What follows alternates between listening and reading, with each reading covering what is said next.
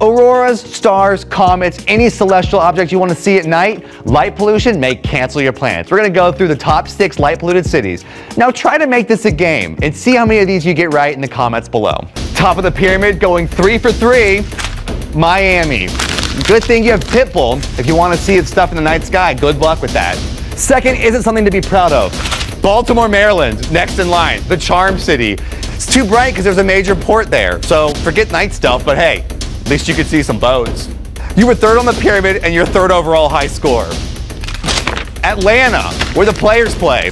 This is why I never see Auroras here. When are you gonna stand out as the leader?